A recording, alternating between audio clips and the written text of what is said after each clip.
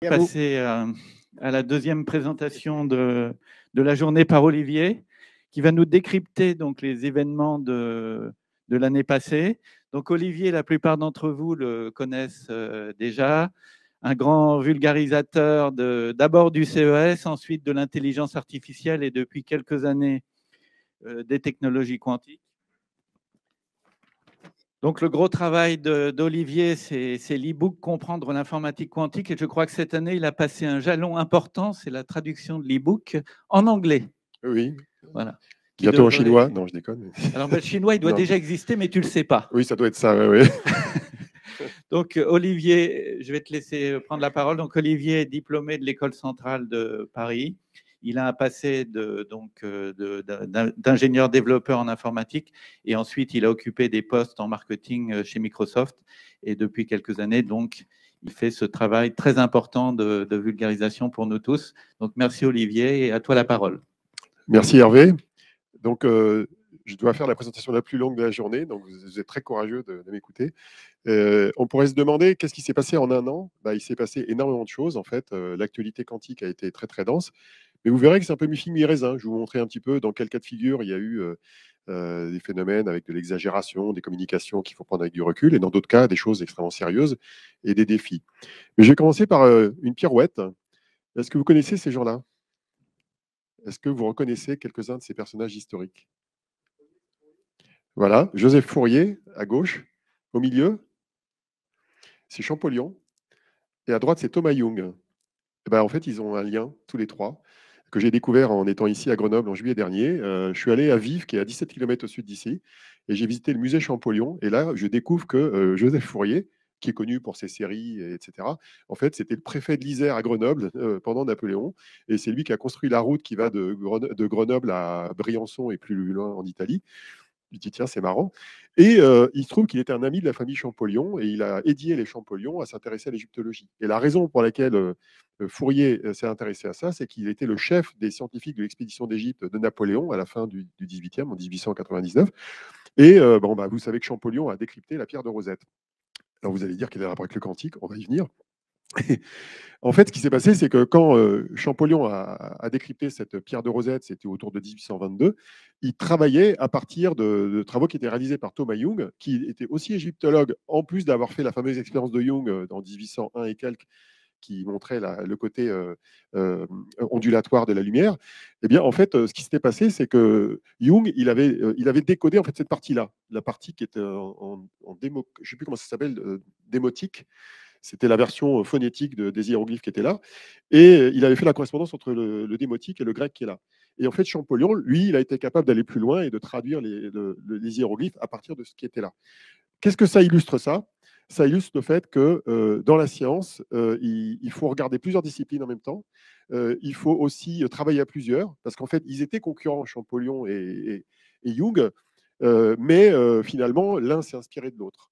L'autre euh, métaphore, c'est qu'il faut savoir que Fourier, il est très connu pour ses séries, mais à l'origine, c'est un thermodynamicien. Parce que lui, il a créé les équations de la chaleur euh, à l'époque, qui après ont été reprises, améliorées avec Boltzmann euh, et d'autres thermodynamiciens. Donc tout ça pour dire que c'est un petit peu une illustration, deux siècles avant nous aujourd'hui, du besoin dans les technologies quantiques d'associer plusieurs sciences différentes, euh, de travailler à l'échelle internationale pour résoudre des problèmes complexes. Et on est exactement dans cette situation-là aujourd'hui avec les techno quantiques.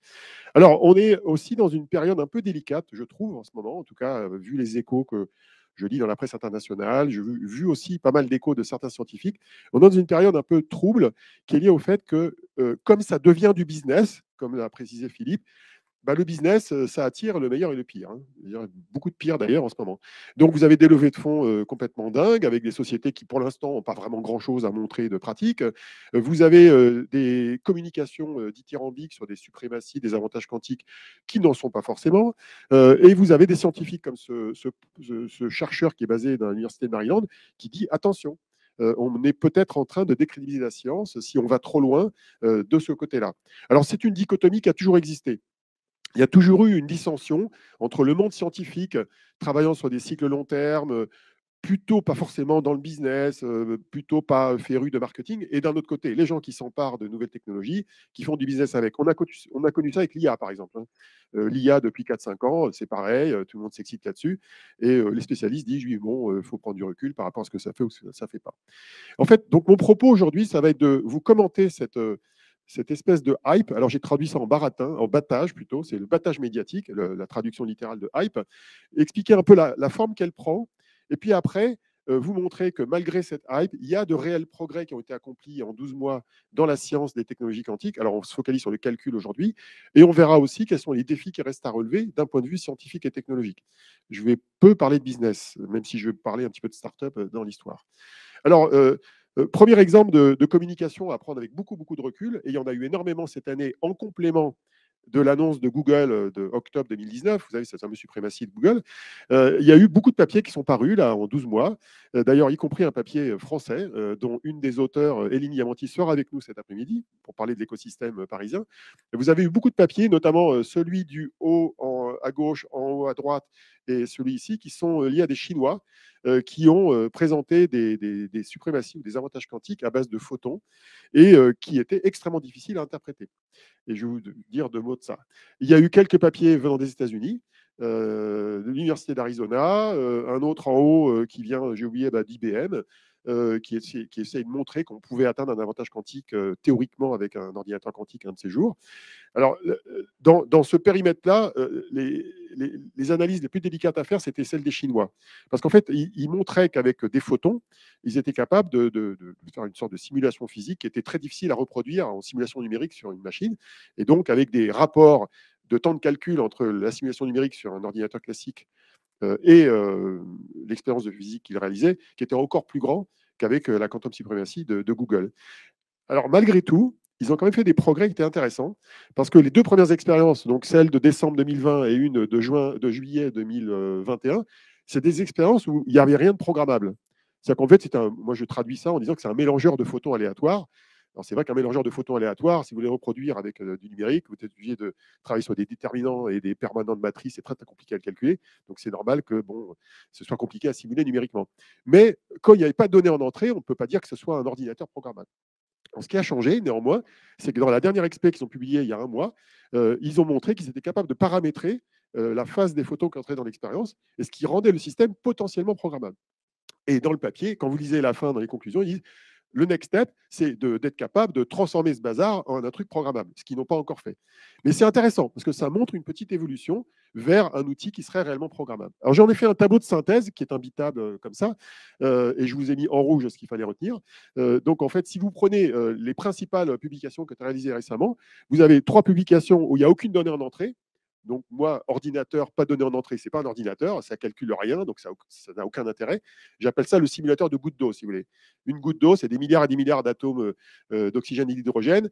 Un ordinateur capable de simuler une goutte d'eau, ce serait probablement un ordinateur aussi grand que l'univers, parce que en nombre de qubits, je ne sais pas combien il en faudrait. Donc ça n'aurait aucun sens, parce qu'il n'y a pas de données en entrée, c'est juste une goutte d'eau qu'on observe. Et la physique euh, euh, quantique, elle est très très dure à simuler numériquement dans un ordinateur. Par contre, il y a eu d'autres papiers qui ont été publiés qui, eux, avaient des données en entrée, mais ne démontraient rien parce qu'en fait, ils n'atteignaient pas un réel régime de, la suprématie ou de l'avantage.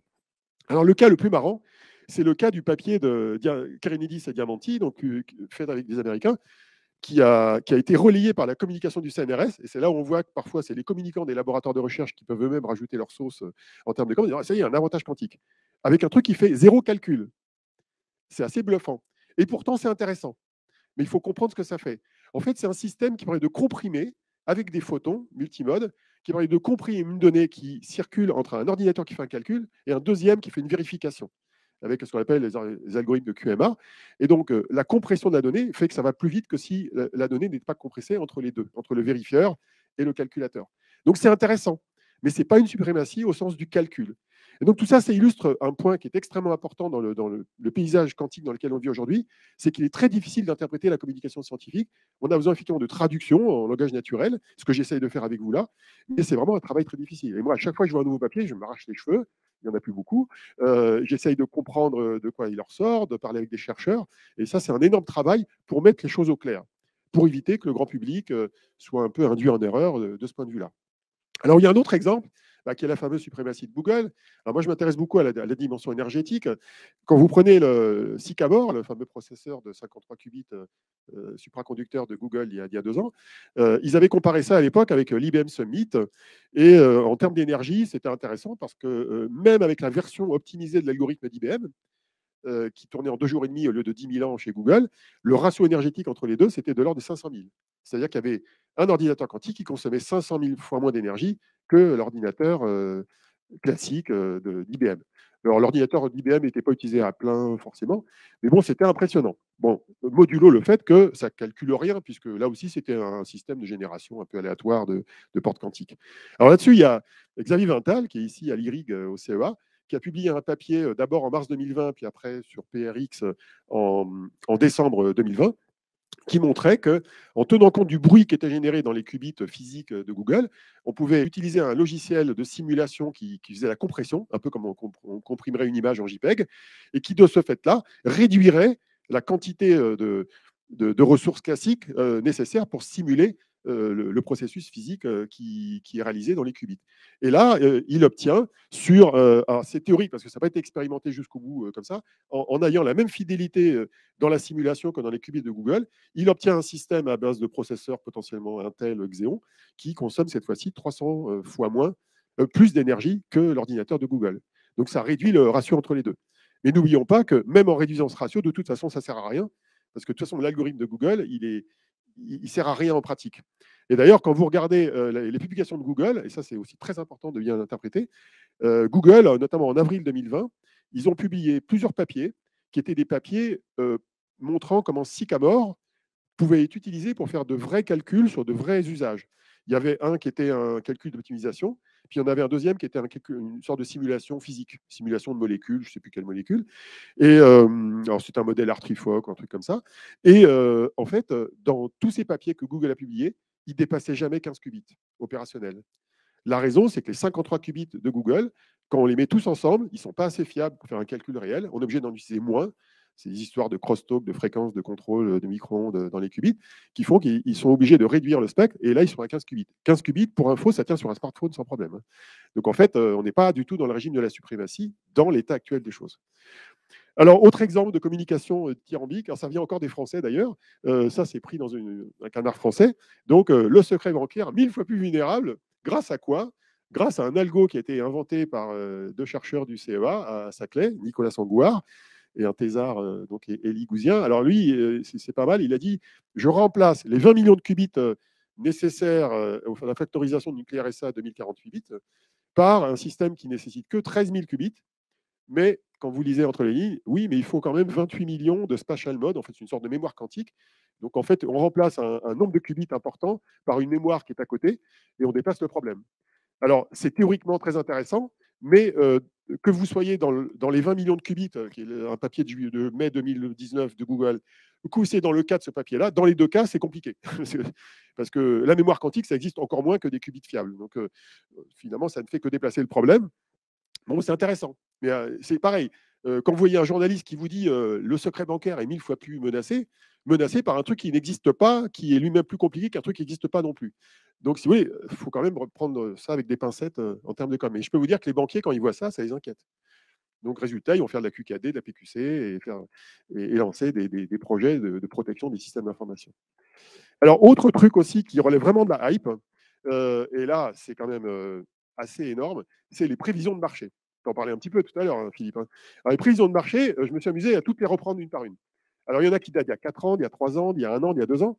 Alors, ce qui est très intéressant quand on fait une prévision de marché, c'est, un, la méthodologie qui est utilisée pour la faire. Alors, vous savez comment on fait une prévision de marché? Vous avez une idée? En fait, vous demandez aux clients ce qu'ils vont faire. Et comme ils ne savent pas et qu'ils ont peur d'être nuls, ils disent oui, oui, on va faire du quantique, oui, on fera de l'IA, oui, on fera de la blockchain. Donc, ils, prennent ça, ils essaient d'estimer la valeur que ça a représenté en, chiffre d'affaires pour l'industrie, et ils obtiennent des chiffres qui, à la fin, deviennent délirants. Euh, le pire, c'est quand même, il y a quelques années, le BCG, euh, donc ils avaient fait une prévision alors, genre, ils vont jusqu'à 2050. Hein, donc, prévoir ce qui se passe en 2050. Hein, on ne sait même pas si on sera encore là. Hein. Donc, euh, en 2050, ils prévoient que le chiffre d'affaires du quantique, ça sera à peu près 300 milliards de dollars. 300 milliards de dollars, c'est la totalité du chiffre d'affaires des serveurs et des data centers en entreprise aujourd'hui. Alors, quand on sait que le calcul quantique est plutôt destiné, dans le meilleur des cas, à être une partie de ce, business-là, il y a un problème d'ordre de grandeur. Et c'est lié à la manière dont ces, chiffres sont inventés. Alors après, vous avez des chiffres fantaisistes. en fait, les plus sérieux, c'est les gens de YOL qui sont ici. D'ailleurs, il y avait quelqu'un de YOL qui intervenait l'année dernière dans cette même conférence. Les chiffres de YOL, c'est les plus sérieux. Eux, ils estiment que d'ici une dizaine d'années, on aura à peu près 2 milliards de dollars autour de l'ensemble des techno quantiques, dont une partie sur le calcul quantique. C'est assez raisonnable. En fait, la vraie réponse à cette question, et c'est très très dur d'y répondre comme ça, c'est qu'on n'en sait rien. Et c'est très dur de dire je ne sais pas, en général dans la vie. Et quand on fait des prévisions, c'est dur. Évidemment, un analyste qui dirait je fais une conférence pour dire je ne sais pas, il n'aurait pas un grand business. J'en ai vu un là hier à l'Université de Maryland qui faisait 58 slides de market data. Mais il ne parlait pas des qubits. Hein. Il disait voilà les chiffres, voilà le nombre de startups, les levées de fonds. Mais il n'avait aucune idée de si ça allait marcher. Mais par contre, il y avait des chiffres intéressants, un peu fantaisistes. Alors effectivement, les levées de fonds que Philippe évoquait sont très impressionnantes. les trois principales, donc c'est euh, Psychantom, IonQ et Rigetti qui vient, c'est pas dans mon chart ici, Rigetti qui avait déjà levé 200 millions avant de faire son SPAC euh, qui est annoncé il y a quelques jours, D-Wave qui historiquement était la plus grosse levée de fonds jusqu'à il y a deux ans, puisqu'ils avaient levé 200 millions. Ils ont, taxé le gouvernement canadien aussi de 40 millions de dollars récemment pour euh, éviter d'avoir des problèmes de, cash. alors en fait, c'est très concentré. Là, on est dans un phénomène qui n'est est pas spécifique au quantique. quelle que soit la technologie, il y a toujours une concentration de la valeur sur quelques acteurs. effectivement, ce qui est assez important de comprendre, notamment par rapport aux projets de création d'entreprise, dont certains qui sont ici à Grenoble, c'est qu'il y a un problème de time to market. Euh, quand il y a une course à la charlotte comme ça, bah, il ne faut pas trop traîner pour créer les boîtes, parce que si on traîne, on rate l'opportunité d'aller prendre de l'argent là où il y en a. Alors, il y a beaucoup d'argent aujourd'hui. Hein. Euh, l'une des raisons pour lesquelles ces levées de fonds extraordinaires ont lieu, euh, c'est qu'il y a énormément d'argent dans le capital risque aujourd'hui. J'ai regardé les chiffres. Le capital risque en 2020, c'était 300 milliards de dollars dans le monde, dont la moitié aux États-Unis. Donc, euh, le capital risque injecté dans le, quantique, depuis que ça existe, c'est de l'ordre de 3 à 4 milliards de dollars. Donc, en fait, c'est tout petit le quantique par rapport au total. Et donc, vous avez des startups dans l'IA, dans les objets connectés, dans la réalité virtuelle qui lèvent des milliards de dollars. En fait, c'est des chiffres complètement délirants avec des valorisations de plusieurs dizaines de milliards. Vous avez une boîte en France qui a levé 600 millions de dollars, euh, qui s'appelle Sorar. C'est une boîte qui fait des cartes avec des tokens blockchain pour les amateurs de football. Ils ont levé plus que Psychantom. C'est juste pour relativiser les, choses. Hein. Les investisseurs, ils aiment bien l'argent et les, choses qui font des chiffres d'affaires. Et finalement, il n'y a pas tant d'argent que ça dans le quantique quand on, compare aux autres domaines d'activité. Moi, je considère qu'en en, euh, en, en, termes de compréhension de ce qui se passe dans l'investissement, il faut toujours regarder les valeurs relatives, pas les valeurs absolues. Donc, euh, oui, il y a de l'argent dans le quantique, mais il n'y en a pas encore tant que ça. Et potentiellement, il pourrait y en avoir plus au fur et à mesure des réalisations scientifiques qui vont être réalisées par les uns et par les autres. Alors, quelques autres datas. Alors, ce n'est pas des datas euh, très fiables, c'est les miennes, au sens que j'ai pu compiler comme data sur les startups dans le monde, mais ça donne des idées d'un certain nombre d'éléments de cycle euh, technologique. Euh, première indication, là, vous avez une courbe qui ressemble à une gaussienne. C'est un peu bizarre. Et, et la pointe de la gaussienne, c'est 2018. Alors, il est peut-être possible qu'il me manque des, boîtes euh, dans, mon chart, hein, c'est possible, notamment en 2021. Mais en fait, c'est vrai que globalement, c'est vraiment 2018 qui a été l'année où il s'est créé le plus d'entreprises dans les technologies quantiques. Mais euh, si on lit euh, l'histoire du passé, dans le logiciel, dans l'intelligence artificielle, dans plein de domaines, on peut estimer qu'il y aura une deuxième bosse plus tard. Et à quoi va ressembler cette deuxième bosse? Eh ben, En fait, cette deuxième bosse, elle va probablement être liée au fait que dans un certain nombre d'années complètement indéterminées, euh, peut-être 10 ans, on aura euh, des machines qui atteindront le régime de l'avantage quantique. Et là, il y aura probablement un deuxième décollage des boîtes de soft. Parce qu'aujourd'hui, il n'y a pas tant de boîtes de soft que ça. Euh, sur les 450 boîtes que j'ai repérées à peu près, il y en a environ un tiers qui font du soft. Les deux tiers, du reste, c'est du hard. Et dans le hard, il y a les techno-habilitantes, on en parlera tout à l'heure, il y a les, processeurs quantiques, et il y a aussi des boîtes qui font de la QKD, tout ce qui est lié au télécom quantique, et, donc, et des capteurs. Il n'y a pas tant de boîtes que ça dans les capteurs, mais il y en a quand même pas mal. Donc, euh, en gros, on, est encore euh, dans une situation un peu entre deux eaux de ce point de vue-là. Alors, autre point très intéressant, vous n'y voyez rien parce que c'est tout petit, mais là, j'ai classé les pays par nombre d'entreprises, pas par levée de fonds. Hein. Euh, alors, la France arrive en quatrième en nombre de sociétés dans le quantique, ce qui est quand même pas trop mal. Disons que c'est mieux que si c'était pire, mais, mais par contre, si on était en chiffres, en montant levé, la France est environ huitième, je crois. Hein. ouais, ah oui, j'ai pas fait le tri, tu as raison. J'ai n'ai pas reclassé le truc. Oui, tu as raison. Euh, ceci étant, euh, j'ai refait le calcul récemment et c'était à peu près pareil. Quoi. oui, tu as raison. Bonne remarque. Euh, c'est le quicksort qui n'a pas été bon dans, Excel. en fait, les Allemands, par contre, les Allemands, je peux faire un commentaire sur les Allemands, tu as raison de faire le point. Les Allemands, ils ont une caractéristique, c'est qu'ils ont très peu de bois dans le hardware quantique. Les Allemands, ils ont des techno-habilitantes comme Trumpf, je sais pas si vous connaissez Trumpf, c'est les lasers de puissance qui sont utilisés dans les machines ASML, qui potentiellement pourraient être utilisés dans d'autres technologies quantiques. Euh, vous avez euh, tout un tas de sociétés dans le software comme HQS, euh, Heisenberg, en fait, c'est une boîte qui s'appelle Heisenberg, qui a le même nom que Honeywell Quantum Systems, bon bref. Et vous avez des boîtes aussi dans la crypto, mais en fait, ils n'ont ont quasiment pas de boîte dans le hardware. Il y a juste une boîte qui a été créée par Enrique Solano, un type un peu bizarre, euh, un Péruvien basé en Allemagne à Bilbao, qui veut faire du supraconducteur pour faire des œuvres artistiques pour l'instant. Donc c'est un peu euh, space. Euh, en fait, son propos, celui, c'est d'essayer de, faire du calcul quantique NISC utilisable concrètement aujourd'hui sans attendre l'avantage quantique. Alors, autre élément, alors ça c'est juste pour le fun, j'aime bien mettre un peu de fun dans mes, présentations. J'ai fait une étude sur les noms des boîtes. Alors, qu'est-ce que ces boîtes ont en commun, à votre avis? Hein? Elles commencent tous par Q. Donc pourquoi Q? Bah, Parce que Q, quantique. Donc en fait, euh, les gens qui font du branding dans le quantique, ils ne sont pas très originaux. Et j'ai essayé de voir où étaient les originaux et les moins originaux. Et donc j'ai fait un classement des boîtes qui commençaient par Q par thème d'activité. Et donc en fait, c'est les consultants et les boîtes de services qui sont les moins originaux. et par contre, ce sont les gens qui font du capteur quantique qui, eux, sont les plus originaux qui savent trouver des noms plus sympas. Quoi. Bon, c'est juste anecdotique. Hein. C'est juste pour vous montrer qu'avec data, on peut faire n'importe quoi, en fait. Hein. Et on peut l'interpréter peu comme on veut. Donc voilà, il faut prendre ça avec du recul. Donc voilà pour l'introduction sur la partie hype. Et encore, la hype, on pourra en parler sous plein d'autres dimensions. Maintenant, on va voir les progrès qui ont été accomplis dans ces 12 derniers mois. Et c'est mélangé d'ailleurs avec un peu de hype aussi. Alors les progrès, ils sont de nature assez variée. En gros, on a vu chez la quasi-totalité des acteurs une amélioration de la qualité des qubits, sans pour autant permettre d'atteindre le, régime du large-scale computing. On a vu euh, les premiers qubits logiques arriver. Je pense que c'est très important, ça, euh, notamment chez Google et chez IonQ. On a vu apparaître euh, aussi, on, voit des évolutions très significatives dans le monde de la simulation quantique. On en reparlera sur Pascal, qui, est l'acteur majeur en France de ce domaine-là. Et puis, et notamment à Grenoble, beaucoup de progrès dans la cryoélectronique qui est l'accompagnement des qubits, notamment les spin électrons et euh, supraconducteurs, qui est vraiment une technologie que je considère en tout cas comme vraiment stratégique pour euh, générer des ordinateurs quantiques scalable. Et puis après, on parlera des défis qui restent à, soulever. Un premier point, bah, Philippe, tu l'as bien rappelé, euh, il y a plusieurs paradigmes de, développement d'applications quantiques. Il y a ce qu'on appelle le gate-based computing, donc basé sur des portes quantiques avec les portes X, les C-notes et compagnie. Euh, qu'on lui-même redécoupe en ISC et LSQ, selon que c'est scalable ou pas. Et là, j'ai fait une espèce de cartographie de sept catégories de logiciels, disons d'algorithmes classiques qu'on peut dérouler avec ces machines-là. Alors la réalité aujourd'hui, c'est que même, euh, surtout dans le régime du NISC, il y a relativement peu d'algorithmes qu'on peut réellement implémenter de manière intéressante. C'est-à-dire que toutes les études de cas qui ont été publiées sur du NISC euh, n'ont aucun intérêt pratique. Je précise pratique. Elles ont un intérêt en termes de pédagogie, elles ont un intérêt expérimental, elles ont un intérêt pour euh, apprendre ce qu'on peut faire avec du calcul quantique, mais pour l'instant, il n'y a pas encore de, puissance apportée par ces machines permettant d'aller au-delà d'un simple laptop. Euh, tous les algos qui ont été publiés jusqu'à présent sur du NISC, ça tourne sur un laptop, en équivalent classique. Par contre, euh, D-Wave existe depuis longtemps, et notamment les, simulateurs quantiques, notamment à base d'atomes froids, sont en phase de prototypage, pré-commercialisation, notamment chez Pascal.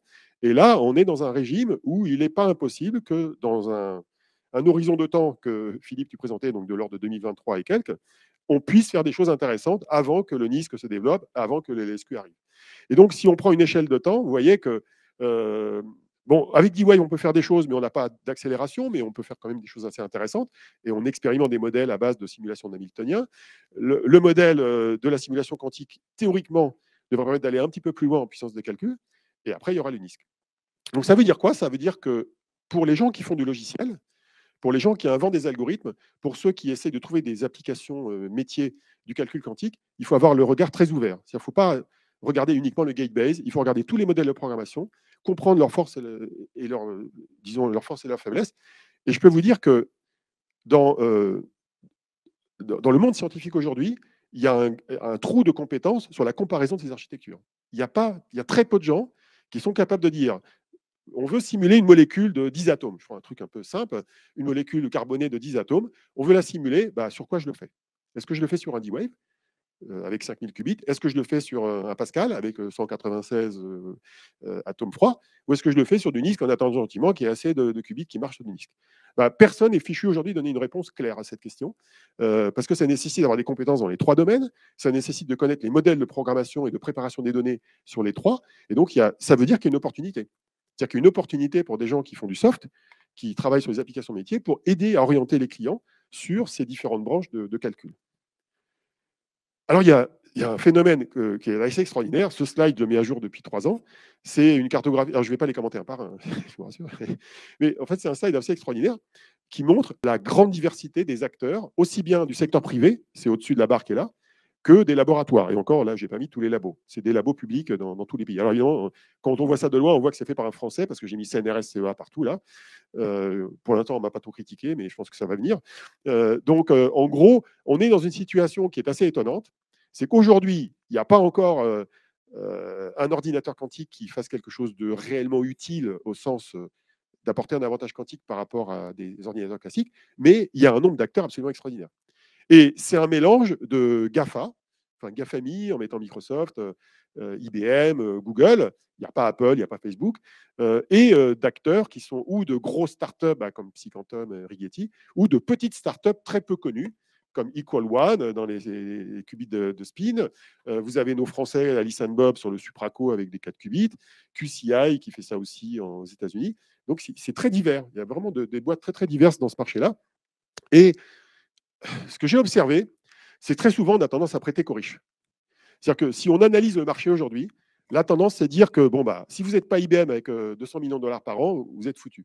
En fait, quand vous regardez de près les, développements technologiques de chacun de ces acteurs-là, bah, vous vous rendez compte qu'en fait, dans certains cas de figure, vous avez des startups pas très bien financées qui ont un patrimoine scientifique et technologique du même niveau qu'un Google ou un IBM. Et, c'est d'autant plus vrai que quand on veut créer un ordinateur quantique, on est très sensible à des choix qui sont radicaux qui sont faits. Et toutes ces boîtes-là ont fait des choix différents. Même les boîtes qui font toutes des 4 qubits font des choix différents parce qu'elles n'utilisent pas la même méthode de contrôle du, qubit de chat. Euh, même les gens qui font du silicium, il y en a plein. Il y en a qui font du germanium, du silicium, du phosphore. il y a tout un tas de méthodes pour contrôler le spin d'un électron.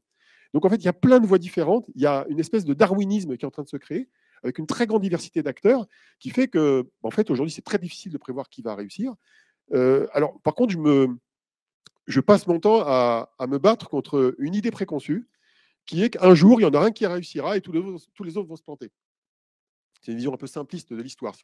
Il y en aura probablement quelques-uns qui vont réussir, pas tous, mais il n'y a pas de raison qu'il y en ait un seul qui réussisse. Genre, par exemple, Jeremy O'Brien, qui est le fondateur de Psyquantum, là, qui est ici dans les photos, lui, quand vous l'écoutez, il a levé 675 millions de dollars, il dit qu'il n'y a que lui qui réussira, tous les autres vont se planter. Bon, c'est normal, il est entrepreneur, il faut qu'il baratine un peu.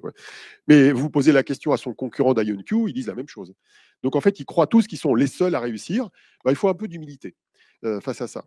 Et une manière, de développer l'humilité dans, les technologies quantiques ici, c'est peut-être de, de, comprendre que dans un futur euh, à moyen terme, il n'est pas impossible que la réussite viendra de la capacité à mélanger plusieurs technologies.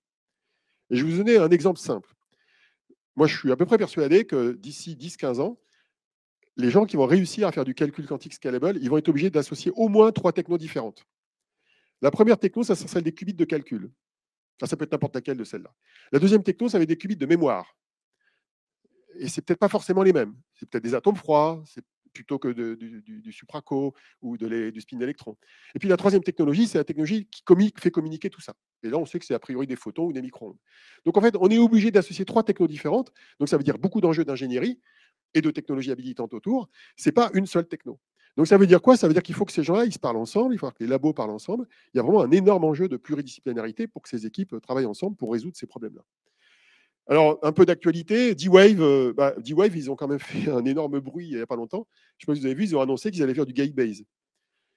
Alors, le Gatebase, ça veut dire programmer un ordinateur quantique à l'origine est fait pour euh, gérer, on va dire, un réseau de qubits reliés entre eux, euh, avec des portes quantiques. Alors, je peux vous dire que les gens qui connaissent ce sujet-là disent comment vont-ils faire? Parce que comme les qubits de D-Wave ne sont pas très bons en termes de qualité, ils ont des taux d'erreur de plusieurs pourcentages, euh, comment vont-ils piloter avec des micro-ondes les qubits de flux qui sont dedans? C'est plein, plein de questions. En théorie, ils vont y répondre le 23 octobre dans une conf qu'ils font en ligne. Euh, hein, mais ça soulève plein de questions. Donc, euh, les, commentateurs disent c'est un game changer. La question, c'est est-ce qu'ils pipotent? C'est-à-dire qu'est-ce qu'ils survendent ce qu'ils veulent faire ou pas. Euh, quand on voit leur communication, on voit qu'il y a, comme dans les contrats d'assurance, des caveats, il y a des petites lignes qui disent oui, mais en fait, ça servira surtout à la simulation chimique. Là, on dit ah, peut-être qu'il y a une limitation quelque part à leur gate-based model. Quoi. Donc ça, c'est un bon exemple. Vous avez les, Japonais qui se relancent sur le quantum annealing, avec NEC qui a relancé un programme là-dedans. Et puis, vous avez Kilimanjaro, qui est une boîte assez intéressante, qui est euh, en Espagne. J'ai rencontré leurs dirigeants à distance. Euh, c'est une boîte qui, d'ailleurs, est impliquée dans, des projets européens, euh, le projet Avacus, qui, d'ailleurs, implique Nicolas Roch de l'Institut Néel. Et ce projet-là, il consiste à créer un quantum annealer qui serait plus cohérent donc meilleur, on va dire, que les quantum annealers de. Et leur premier client, c'est Abu Dhabi qui a créé un laboratoire de recherche qui s'appelle TII, qui est, dont le directeur scientifique est un certain euh, José Ignacio Latorre, qui vient de, Barcelone. Et euh, ce, laboratoire, euh, il, a vendu en fait clé en main un labo à Abu Dhabi, il a vendu un ordinateur quantique à Abu Dhabi, et Abu Dhabi, dans la presse locale, a communiqué sur on est en train d'installer notre ordinateur quantique. Et il dirige aussi sécurité de Singapour par ailleurs. Le mec est assez multitâche. Et alors, ce qui est assez marrant, c'est que là, ils disent voilà, on est en train de déployer l'ordinateur quantique.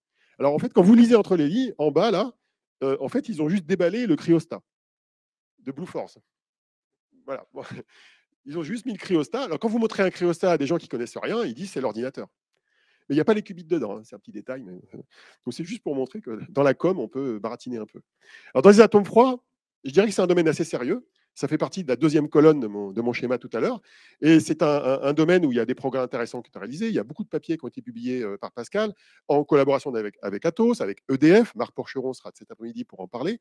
C'est un domaine extrêmement intéressant et où il y a de la concurrence. Hein. Il y a, vous avez Colcanta, qui est le principal concurrent de, Pascal, qui est aux États-Unis, qui travaille pour le Pentagone, qui euh, veut sortir une machine qui s'appelle Hilbert, donc pas très étonnant, avec 100 qubits. C'est la même roadmap à peu près que celle de Pascal. C'est inspiré par les mêmes méthodes et les mêmes techniques. Euh, et, puis, vous avez l'équipe de Michael Lukin à Harvard qui a annoncé avoir euh, atteint 256 qubits. Il paraît que les équipes de Pascal, ils ont un truc à 750 qubits prêt à publier qui permettra de remonter l'échalote, de faire la course à l'échalote. Alors, ce que j'aime bien dans la communication des, acteurs, notamment privés, c'est Colcanta, ils vous disent que leurs atomes froids marchent à température ambiante. Alors ça, ça me fait doucement rigoler, parce qu'en fait, les atomes froids, c'est ce qu'il y a de plus froid. D'ailleurs, ça s'appelle atome froid. Donc, quand vous dites qu'un atome froid est à température ambiante, et c'est froid comment quoi? Ben, En fait, il faut savoir qu'un atome froid, c'est beaucoup plus froid qu'un qubit supra. Qubit supra, c'est 15 millikelvin. Un atome froid, c'est moins d'un millikelvin. C'est même plutôt dans les dizaines ou centaines de nanokelvin. C'est juste lié au fait que la cryogénie n'est pas la même nature.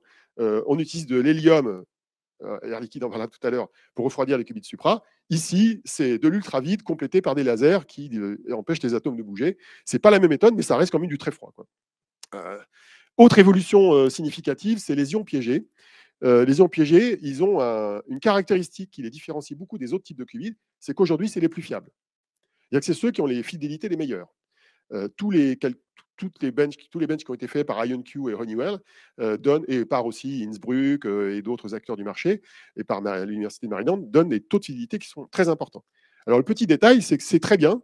En plus, ils ont une connectivité parfaite, c'est-à-dire que tous les qubits communiquent avec tous les qubits. Le problème, c'est que ça ne scale pas très bien. C'est-à-dire que la connectivité des qubits avec des phonons, qui permet à un qubit de gauche de parler au qubit de droite dans des, des, des raies de, de, qubits, comme on les voit ici, c'est un peu compliqué. Alors donc, à IonQ, ils ont en plus de leur fameuse PAC, qui est un truc financier, euh, ils ont communiqué sur deux trucs. Euh, ils, ont, ils, ont, ils ont dit, bah voilà, notre architecture, ça va consister en fait à prendre des blocs de, alors je sais plus, c'est 16 ions euh, qui, font 12 qubits. C'est des blocs de 16, et en fait, ils vont les déplacer pour les rapprocher les uns des autres, pour en gros créer des espèces de grappes de registres quantiques qui vont être plus ou moins rapprochés pour créer l'intrication entre les grappes. Et après, ils ont dit, et d'ailleurs, on va relier ensuite ces quatre grappes par des photons pour créer des unités multiprocesseurs. Alors, je peux vous dire que le fact-checking de la plausibilité de ce machin-là nécessite du taf. Ce n'est pas du tout évident de vérifier que ça marche bien. Pour en avoir parlé avec quelques spécialistes et des photons et de la téléportation, je peux vous dire qu'il y a du taf pour vraiment y arriver. Mais c'est intéressant d'avoir ce genre d'approche. Honeywell, euh, eux, euh, en plus d'avoir euh, fusionné avec la plus grosse boîte de logiciels quantiques dans le monde, qui est CQC, qui a 150 personnes, eux-mêmes, ils étaient 150. Ils ont spin-offisé en fait l'activité qubit euh, ion piégé. Ça fait une entité qui fait plus de 300 personnes. Ils ont rajouté 350 millions de dollars dans la mariée venant de Honeywell et ça devient une boîte qui fait et et du soft. alors qui, elle, traduit une tendance de marché que certains regardent de près, qui est de se dire, est-ce que finalement le marché va se structurer de manière verticalement ou horizontalement? Donc verticalement, on fait le hard et le soft dans la même boîte, jusqu'aux applicatifs, parce que CQC, ils font des générateurs de nombres aléatoires, ils font plein de cas d'usage euh, verticaux. Euh, d'ailleurs, je ne sais pas comment on fait pour faire une boîte de 150 personnes sur des machines qui n'existent pas, mais et il y a l'autre approche qui est de dire je fais ou que du soft que du hard et on bosse ensemble. Donc, vous savez quelle est la bonne réponse? C'est qu'on aura les deux. C'est comme les smartphones aujourd'hui. Dans les smartphones, vous avez le vertical avec Apple, l'horizontal et Google. Les PC, c'est pareil. Microsoft, c'est horizontal. Euh, Apple, c'est plutôt vertical, en, intégration au moins au niveau du hard et de l'operating system. Euh, autre techno euh, qui évolue pas mal, c'est les, supraconducteurs. alors là, c'est très très dur d'interpréter ce qui se passe, parce que les supraconducteurs, ils sont moins fidèles que les qubits, les qubits à base de ions piégés. il y a quand même eu des évolutions intéressantes. Donc vous avez Google qui, il n'y a pas longtemps, il y a 2-3 mois, a publié un papier montrant qu'en théorie, ils pourraient faire des qubits logiques avec une vingtaine de qubits physiques. Alors, modulo le fait qu'au-delà de 20, ils ne savent pas aller plus loin y a de la place, hein, Alexia. Hein, euh, ensuite, euh, vous avez euh, Rigetti qui a annoncé, un petit peu comme nos amis de IonQ, ils ont annoncé une architecture qui est aussi très, très, très difficile à évaluer, qui est une architecture où ils font des blocs de, de 4 qubits qui sont connectés entre eux euh, donc, c'est une histoire de multicœur. Ils ont repris l'architecture multicœur d'Intel et ils se sont dit, on va créer des blocs de 4 qubits qui sont fiables, reliés entre eux, et ils le relient entre eux. Alors, je ne me rappelle plus comment, est-ce que c'est par des micro-ondes ou par des photons, euh, mais sur les mêmes puces. C'est une manière de faire de ce qu'on appelle en américain du scale-out. C'est-à-dire comment on augmente la puissance de machine en, mettant plusieurs unités de calcul reliées entre elles d'une manière ou d'une autre. Euh, et puis, vous avez OQC, et je vais en parler juste après. Alors, il y a surtout Amazon. La plus grosse nouvelle de 2000 de, fin 2020-2021 euh, dans le supraconducteur, c'est l'annonce qu'Amazon se lance dans les qubits supra pour concurrencer en gros IBM et Google, et en, choisissant une branche technologique qui est celle euh, que a développée Maziar Miraimi avec Zaki Lektas quand ils étaient thésards ou postdoc euh, chez Michel Devoré à Yale, et donc on appelle les 4 qubits, c'est des qubits de chat. Et d'ailleurs, d'un point de vue scientifique, c'est un truc qui est un peu ambigu, parce qu'en fait, un qubit de chat, c'est un mélange de photons et de, supraconducteurs. Mais on peut dire que c'est presque un qubit de photons, c'est un Schrödinger à base de photons micro-ondes qui sont dans une cavité. Donc c'est plus du photon, mais c'est contrôlé, en tout cas dans la technologie, euh, notamment d'Alice and Bob en France, c'est contrôlé par ce qu'on appelle un transmon. En fait, c'est un, transducteur euh, euh, qui est proche d'un qubit supraconducteur, mais ce n'est pas un, système qui stocke une information quantique. Il sert juste à piloter et à lire l'état du qubit à base de chat.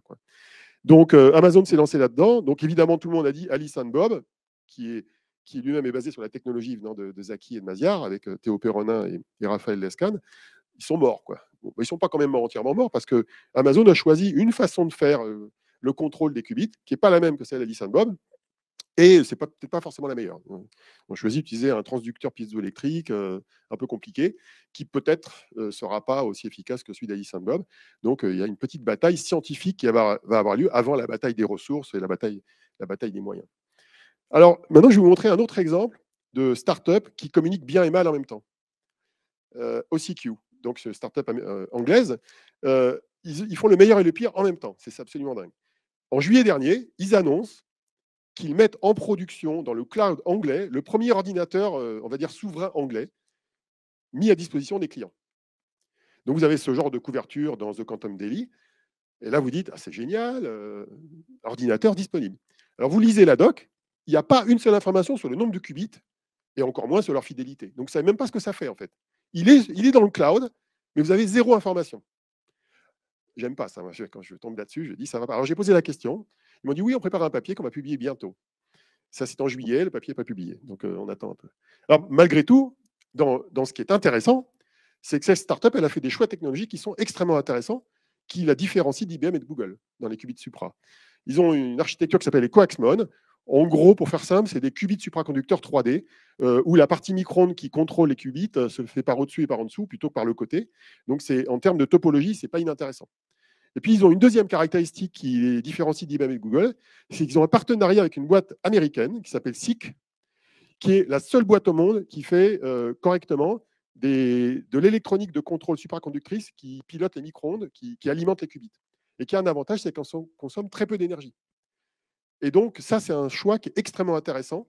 Et j'attends d'ailleurs que d'autres boîtes se mettent à faire ce choix-là, parce que c'est la seule solution qui est connue aujourd'hui on va dire, disponibles qui permettraient de réellement scaler dans le contrôle électronique des qubits supraconducteurs. Si on ne prend pas ce genre de solution, ça ne scale pas pour des problèmes de câblage, des problèmes de, thermodynamique.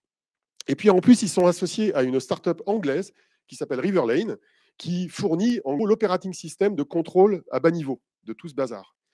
Donc c'est un partenariat à trois acteurs en fait. Donc c'est intéressant de voir comment trois acteurs très complémentaires se sont mis ensemble pour trouver une, disons, essayer d'explorer une piste de scalabilité dans le calcul quantique à base de supraconducteurs. Dans les spins d'électrons, ça bouge pas mal aussi. ça bouge dans plein de dimensions. Euh, des fois, ça bouge pas. Par exemple, euh, chez SQC ou en Australie, ils ont recruté John Martinis à grand renfort de publicité euh, il y a un an. Puis depuis, ça n'a rien passé.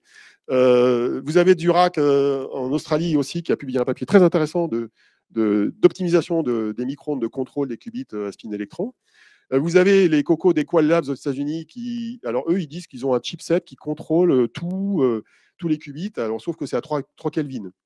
3,7 Kelvin, c'est sympa, mais c'est un peu trop chaud pour la température des, qubits. Et à part ceux-là, ils sont très marrants aussi, ceux-là, c'est des gens qui font des, des nanocubes, euh, nanosphères. Ils font des nanosphères de carbone, une sorte de graphène. Euh, le spin est, contrôlé à l'intérieur. Et ils disent qu'ils ont des qubits qui marchent avec ça, sauf qu'ils n'ont pas prouvé qu'il y avait d'intrication encore, mais en gros, ils avancent. Euh, alors, il y a Grenoble qui continue à avancer. je ne vais pas rentrer dans, trop dans le détail, mais je vais juste, avec ce schéma très compliqué que j'avais réalisé il y a quelques mois avec Maudinet, juste vous donner un peu ma vue des choses sur l'architecture euh, qui est développée à Grenoble. En gros, Grenoble, si on pouvait le comparer avec beaucoup de startups ou de grands acteurs, c'est un écosystème qui parallélise les problèmes. Ce n'est pas un écosystème qui les sérialise. Euh, quand on, quand on sérialise, on dit on veut d'abord des qubits, puis après on fait le reste. C'est ce que font beaucoup de startups. Euh, à Grenoble, il y a des travaux qui sont faits en parallèle sur le packaging, par exemple, des composants. Euh, qui est réalisé par Candice Thomas Oletti. Euh, vous avez évidemment la partie fabrication qui va impliquer à terme ST Micro, qui implique évidemment la salvange du Leti. Vous avez tout ce qui est le testing qui est fait à Néel avec l'équipe de Tristan Meunier. Vous avez euh, les travaux d'Yvain Tonard sur le contrôle des qubits avec les micro-ondes et avec les, signaux continus. et vous avez les travaux potentiellement qui vont être réalisés ensuite côté logiciel. Vous avez tous les partenariats locaux d'où la table ronde qu'on a après sur les technologies habilitantes, le cryostat, les cryostats cryoconcept qui servent à faire les tests d'air liquide. Donc, il y a vraiment un, vrai écosystème qui s'est mis en place pour paralyser les problèmes. Il n'y a pas de garantie que ça marche à la sortie, mais au moins, euh, on essaye d'aller vite. Parce que si on attend que le qubit marche pour faire tout le reste, peut-être qu'on ne sera pas très rapide. Et c'est d'autant plus important que la mise au point des qubits, ça prend du temps. Hein. Il y a des cycles de production et de design de, circuits en, techno nano qui prennent beaucoup de temps. Donc, c'est important de paralyser la résolution des problèmes. Alors, vous avez Microsoft qui s'est pris, je dirais, une grosse mauvaise nouvelle là, dans l'année, puisqu'ils ont été obligés de retirer un papier de Léo Kouvenhoven. Moi, je n'enterrerai pas aussi vite que la presse l'a fait euh, les qubits topologiques. Hein. Il faut continuer à observer euh, ce qui se passe dans ce domaine-là. Il n'y a pas que les de Majorana dans le topologique. Il y a plein de voies qui peuvent être explorées.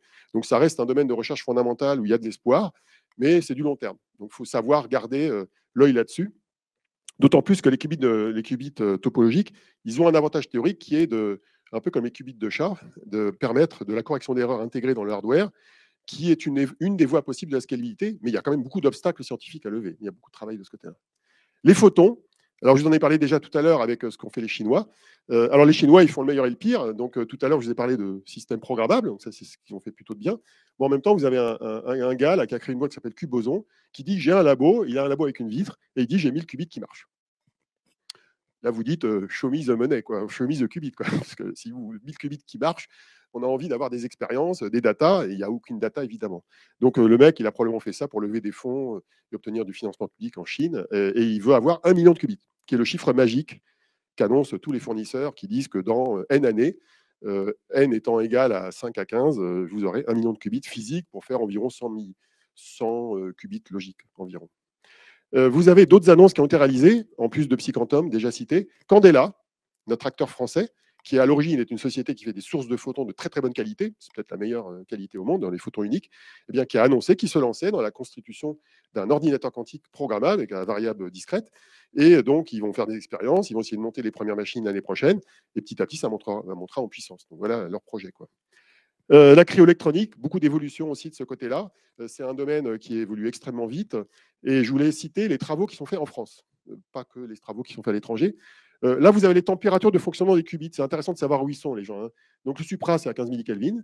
Les spins d'électrons, c'est entre 100 millikelvin et 1 et quelques Kelvin. Et la question qui se pose, c'est où est-ce qu'on met l'électronique de contrôle? Alors, l'électronique de contrôle, plus elle est à basse température, mieux c'est. Mais il ne faut pas qu'à basse température, elle génère de la chaleur. Donc, il faut trouver l'équation. Euh, d'où le fait qu'il y a plein de gens qui se battent en duel, qui testent des circuits à des températures différentes. Intel avec Ridge, ils sont à 4 Kelvin. Et puis, nous avons nos amis de Grenoble qui sont là, avec Institut Néel et le LPMMC, qui ont développé un, amplificateur paramétrique qui sert à lire l'état euh, des qubits euh, supra ou de spin électron. Et vous avez des travaux OLETI qui sont aussi à très basse température, qui contiennent une partie électronique de contrôle des qubits. Et ça, c'est ultra stratégique au même titre que les qubits eux-mêmes. Si on n'est pas capable de faire ce genre de choses, on ne se calera pas. Euh, quelques mots sur les Français dans l'histoire. Euh, là, je vous ai fait un slide marketing exprès. Je me suis dit, tiens, qu'est-ce que je ferais si j'étais un marketeur des boîtes françaises? Donc, j'ai trouvé une espèce de tagline pour chacun, chacune des boîtes françaises. Et donc, là, vous avez une sorte d'étalement dans le temps de l'arrivée des qubits français. Alors, les premiers qubits qui existent, c'est ceux d'Atos, c'est des qubits émulés, euh, mais ils marchent au moins, ceux-là. Ils ont l'avantage de marcher. En fait, l'ordinateur quantique d'Atos, qui n'est pas quantique, c'est 40 qubits hein, de mémoire. Bah, c'est l'endroit où vous avez le plus grand nombre de qubits euh, utilisables, mais en mode émulation. Et euh, tous les autres, bah, ils vont arriver au petit à petit, entre 2022 et plus tard. Et donc, en termes de préparation sur le marché, ça va être comme ça. Alors, ils ne sont, pas, sont pas seuls, hein, tous ces cocos. Hein. Ils ont tous des concurrents, plus ou moins gros, euh, si vous prenez par exemple Alice bah, ils ont Amazon face à eux, ils ont une boîte canadienne, Nord Quantique, ils ont QCI euh, qui vient de Yale.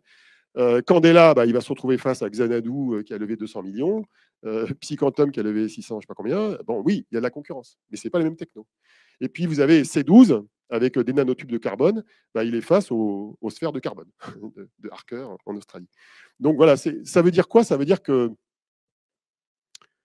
on n'est pas si mal placé potentiellement. Scientifiquement, on a des atouts.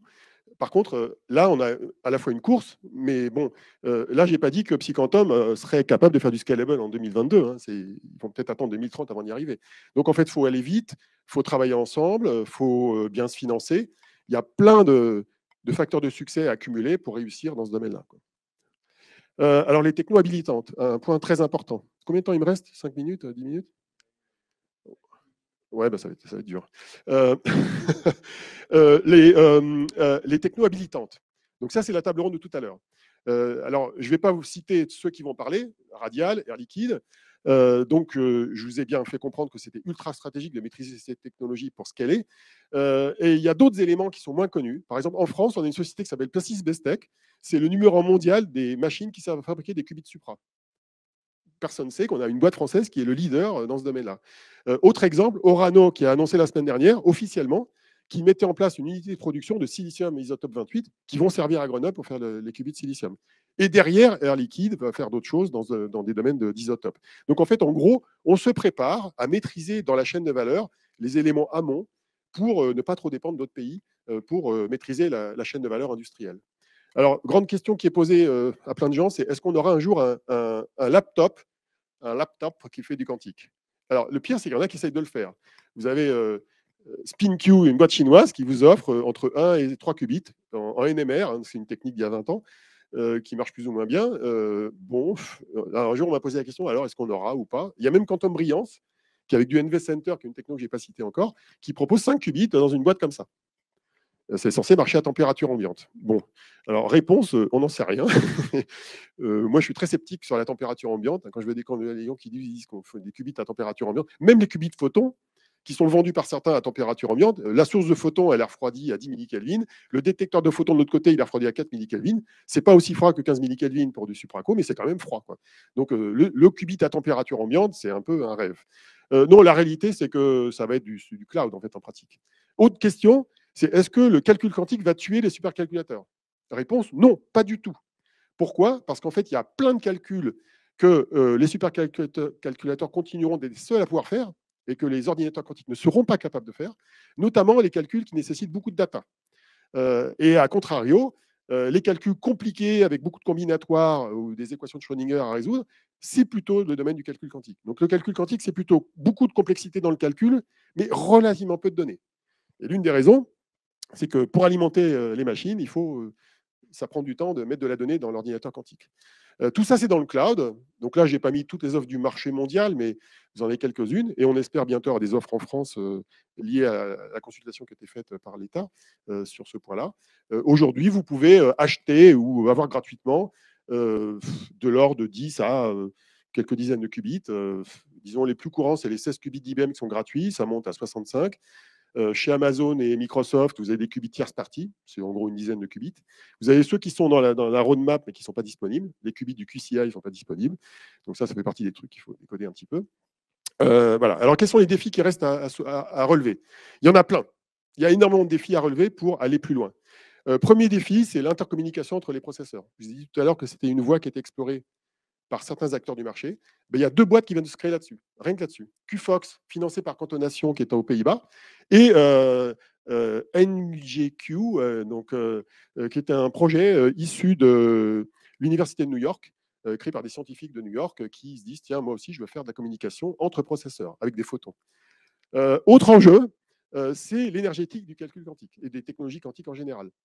Alexia, qui est là, elle a produit ce papier qui a été publié en juillet dernier euh, dans euh, Reflet de la physique, qui positionne bien le problème. Si on ne traite pas correctement les questions d'énergétique des technologies quantiques, on fait fausse route. Et pourquoi il faut traiter ça? Il faut traiter pour deux raisons différentes. La première, c'est qu'il faut être capable de prouver que l'ordinateur quantique, en plus d'être plus rapide, ne va pas être un gouffre à énergie dans l'absolu, notamment l'ordinateur quantique scalable. Et le deuxième point qu'il faut être capable de, prouver, c'est de bien comprendre les relations d'interdépendance qui existent entre tous les facteurs de mérite d'un ordinateur quantique, notamment celui qui est scalable. Quand vous voyez l'ordinateur quantique de Google, celui d'IBM, si vous mettez un million de qubits, ça passe pas. Ça rentre pas. Les générateurs de micro-ondes consomment de l'énergie. Si vous mettez tout dedans ou dehors, ça rentre pas. Donc il faut comprendre quelles sont les relations de dépendance entre tous ces paramètres-là. Et ça, c'est de l'énergétique, c'est de la thermodynamique. Et donc il faut que cette discipline-là soit intégrée dans les débats euh, et euh, de manière pluridisciplinaire. Il faut que tout le monde travaille ensemble. Les générateurs de micro-ondes, le refroidissement chez Air Liquide, euh, la conception des qubits, la correction d'erreurs, les algorithmes eux-mêmes qui sont des sources de conservation d'énergie, tout ça, ça doit être mis au diapason. Et donc, il y a du boulot. Autre enjeu, la préparation des données. Ça, c'est ce que j'appelle la poussière sous le tapis du quantique. Hein. Euh, parce que alimenter un ordinateur quantique en données, c'est compliqué. Euh, alors, si vous alimentez un ordinateur quantique avec juste des entiers, ça va. Vous voulez factoriser un nombre entier avec du Shor, l'entier, ça se prépare facilement. Par contre, si vous faites du quantum machine learning, vous, voulez mettre un vecteur d'état avec euh, une matrice compliquée, là, ça commence à devenir compliqué et ça coûte beaucoup plus cher. Donc, c'est ce que j'ai mis en rouge, c'est relié aux notions de mémoire quantique. Et là, il y a tout un champ à explorer, aussi bien algorithmique d'un côté, que hardware au niveau de la mémoire quantique pour que ça marche bien. Sans compter les algorithmes qui sont derrière, qui servent à faire les calculs. Euh, benchmarking, autre enjeu énorme, et où Atos joue un rôle important, puisque pour compléter le quantum volume d'IBM qui est assez contesté, euh, Atos, bah, c'est il y a 12 mois, donc c'était en décembre dernier, a annoncé le Q-score, qui est une, une, façon de comparer la puissance des machines quantiques, non pas finalement avec les qubits, mais avec la taille d'un problème qu'on peut résoudre. Donc, ils ont pris un problème qu'on appelle un max cut. C'est en gros un problème d'optimisation. Ils ont dit, bah, finalement, on va estimer la puissance d'une machine en fonction de la taille de ce problème standardisé que la machine est capable de résoudre. Alors pour l'instant, on a des chiffres qui sont de l'ordre de 10, 20, je ne me rappelle plus. 10, 15, 20, c'est un nombre entier. Et donc, si on veut comparer deux machines, il y en a une qui fera 15, l'autre 16, l'autre 22, et l'autre peut-être 10 000, on ne sait pas. Donc, euh, on pourra comparer de manière, euh, on va dire, objective des machines, modulo le fait que ça, c'est un type d'algorithme. Donc, un jour, euh, j'espère qu'Atos fera un algo de simulation chimique, et un algo peut-être de QML euh, éventuellement pour compléter le tableau des, algorithmes dont les clients ont besoin. Et puis, euh, dernier point, pour conclure, presque pile poil à l'heure, c'est les questions, je dirais, sociologiques et d'éthique. c'est intéressant parce que ça fait 2-3 ans moi, que je m'y intéresse, que j'essaye de creuser cette question. Et j'étais très étonné il y a 2-3 ans de voir que ce n'était pas un sujet visible. Il y avait peu de chercheurs qui s'étaient emparés de la question. Et là, bah, dans les 12 derniers mois, tout d'un coup, euh, un certain nombre euh, de, scientifiques se sont mis à s'emparer de la question. Alors j'en ai identifié au moins trois, ce n'est pas tous. Euh, d'abord l'Australie, avec Elijah Perrier, qui était associé à, une équipe qui travaille beaucoup dans l'IA historiquement, qui s'est dit, je vais créer carrément une roadmap sur l'éthique du quantique. Alors, c'est un sujet à part entière qui nécessiterait une conférence complète sur qu'est-ce que ça sous-tend, quelles, quelles, sont les problématiques d'éthique. Alors, certains ont tendance à extrapoler les problèmes qu'on a dans l'IA les appliquer au quantique, mais je pense qu'il y a quand même des spécificités euh, liées à l'informatique quantique, notamment ne serait-ce qu'en compétences. C'est un domaine qui est encore plus abscon que euh, l'IA et qui nécessite beaucoup de pédagogie pour qu'on comprenne les choses. Et sur les usages qui en sont faits, l'impact sociétal, euh, en quoi ça va améliorer le monde, ou la finance. Donc, c'est des questions vraiment extrêmement importantes. Vous avez les, les Hollandais qui ont lancé leur plan quantique en avril dernier. Et alors, eux, ils ont carrément mis 20 millions sur le sujet, sur 600 millions sur les questions d'éthique. Donc ça, c'est très intéressant de voir qu'un pays se soucie. Et puis les Hollandais, euh, quand Hollandais éthique, vous dites, bon, quel pas le rapport. J'espère qu'il n'y a pas de Hollandais qui m'écoutent, mais voilà, pourquoi eux ben, Ils ont décidé que c'était un sujet important. Et puis à Grenoble, ben, il y a des choses qui se passent. Euh, vous avez UGA euh, qui s'intéresse à la question, au travers de au moins deux équipes. Il y a l'équipe de Séverine Nouvelle à Sciences Po qui s'intéresse aux questions sociologiques des technologies quantiques.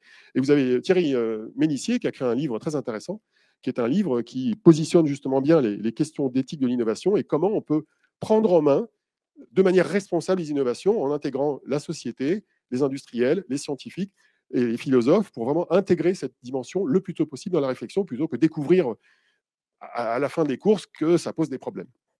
J'ai conclu. voilà la conclusion de mon intervention. Euh, vous pouvez acheter mon livre qui est gratuit. Euh, ou l'acheter en papier. Euh, donc 800 pages en anglais. Ça, c'est pour le week-end quand vous n'avez rien à faire. Sinon, si vous êtes en vélo, comme Maudinet, vous écoutez les podcasts euh, en audio avec Fanny Bouton. Et puis, si vous lisez l'anglais, vous suivez les news de Quantum Daily ou vous suivez l'actualité du Lab Quantique en France. Il y a de quoi faire pour s'occuper et suivre l'actualité. Voilà, voilà. Merci beaucoup. Olivier. Donc, on va prendre les questions dans la salle, mais d'abord, je t'ai trouvé un petit peu méchant avec euh, John Martinez, que je ne connais absolument pas. J'ai juste dit qu'il n'avait rien fait. tu as dit deux choses, à mon avis, un petit peu euh, paradoxales. Tu, à la fois, tu t'es plaint du battage médiatique, et tu as raison. Et à la fois, tu t'es plaint d'un gars qui est arrivé quelque part dans une entreprise il y a un an et qui n'a encore rien publié, ce qui pour moi peut-être est un gage de sérieux. Donc la question qui s'ensuit, la question qui s'ensuit plutôt, c'est euh, est-ce que tu as une idée sur ces différentes technologies de qubit, des vrais temps de cycle, c'est-à-dire entre des temps de cycle d'itération, c'est-à-dire j'ai quelque chose, je le modifie, je le fabrique, je le teste, je publie. C'est quoi le temps de cycle? C'est une très bonne question. C'est très variable. Euh, typiquement, par exemple, si tu prends les atomes froids, il n'y a pas de circuit à construire. Tu mets tes atomes, tu mets tes lasers pour les contrôler. Euh, tes temps de cycle, c'est plutôt le paramétrage des lasers, c'est les, les, composants de contrôle des atomes qui, eux, sont des, pièces mouvantes, qui vont changer dans le temps. Les temps de cycle les plus longs, c'est le qubit silicium. Parce que le, cycle complet de fabrication d'un composant silicium, euh, notamment ici, c'est quand même des cycles au moins de 9 à 12 mois en fab et parfois de 12 à 18 mois rien que pour la conception du circuit. Donc c'est relativement long. Le supraco, c'est entre les deux. Le supraco, c'est quelques mois de tête. On arrive avec des cycles un peu plus courts. La raison, c'est qu'on a un niveau d'intégration qui est plus faible. On utilise des machines euh, de labo, dont les fameux Placis Bestec. Euh, on peut faire ça à la salle blanche de Néel, on peut faire ça au C2N à, à, Palaiso. Disons qu'on a, on a des machines qui sont des temps de cycle un peu plus courts. Ce pas les machines lourdes comme les machines industrielles ou semi-industrielles qu'on a au Leti ici. Quoi. Après, qu'est-ce que j'ai loupé? Euh, Les NV Center, c'est plutôt proche du supra, de tête. lésions piégées, il y a des circuits. Donc c'est plutôt proche du supra, j'aurais tendance à dire, au niveau du cycle. Donc un an sans publier, c'est pas forcément choquant bah, Ça dépend de qui tu parles. Est-ce que tu parles d'un théoricien? Est-ce que tu parles d'un. Non, je parle de quelqu'un qui, veut, disons, démontrer une nouvelle génération de, qubits. Donc là, ça peut être bah, ça dépend. plus d'un an. Euh, par exemple, les gens de Pascal, ils publient assez régulièrement euh, parce que c'est des cycles plus courts. Euh, les, les, gens qui sont dans le supra, ils publient quand même assez régulièrement. il faut bien voir qu'ils travaillent en quinconce. Hein. Par exemple, euh, Sycamore, j'en ai pas parlé, mais Sycamore, on est déjà à la troisième génération. C'est-à-dire que le Sycamore d'il y a deux ans, c'est plus le même qu'aujourd'hui. Ils ont amélioré d'un facteur, euh, au moins d'un ordre de grandeur, la fidélité des qubits en bidouillant le détail de la manière dont les qubits sont contrôlés. Quoi. Donc il y a eu des améliorations. Donc ils ont eu des temps de cycle de, assez courts, de moins d'un an a priori. Très bien, merci. On va peut-être prendre quelques questions. Alors nous avons une question d'une personne en distanciel. C'est une bonne idée. Ah, il faut la lire ou l'écouter euh ah, ça s'affiche D'accord. C'est moderne. J'espère qu'un jour, l'ordinateur quantique permettra aux, visioconférences de marcher toutes seules. Alors, pouvez commenter les progrès réalisés par les qubits de spin dans le germanium euh, à Delft Non. ça doit être bien. Bah, le germanium, c'est une des pistes euh, dans les qubits de spin. Euh, les, qubits de Delft, ils ont l'avantage qu'aujourd'hui, c'est les premiers qui ont été testés avec de l'intrication avec 6 qubits de mémoire. Euh, donc, euh, en termes de premier progrès dans l'intrication de qubits de spin, c'est effectivement intéressant. Euh, mais tous ces gens-là se parlent entre eux, hein, entre les gens d'ici du Leti, les, les, Australiens, tout le monde se suit, hein, tout le monde travaille en parallèle. Bon, c'est bon, vous êtes mort Question de toute façon, je reste là, vous pouvez me choper pour en discuter, je suis là. Olivier sera là. Euh, non, on est juste dans les temps. Il Ben, c'est est extraordinaire. 10h50 à la pas seconde près, euh, pratiquement. voilà. Merci beaucoup. euh, Donc vous retenez que Joseph Fourier était préfet de Grenoble. Voilà. oui. Merci.